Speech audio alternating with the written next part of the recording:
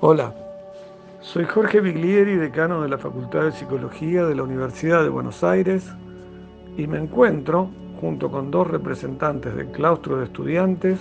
en el histórico edificio de la sede de Independencia para descubrir una baldosa en uno de los lugares donde sucedieron los hechos que hoy se recuerdan como la noche de los bastones largos.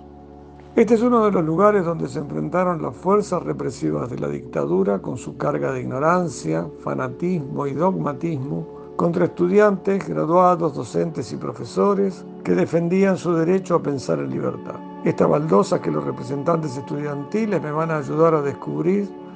nos recuerda que en este año del bicentenario de nuestra universidad el deber que tenemos como universitarios es el de seguir manteniendo viva la llama de la libertad de pensamiento que constituye la esencia del espíritu universitario.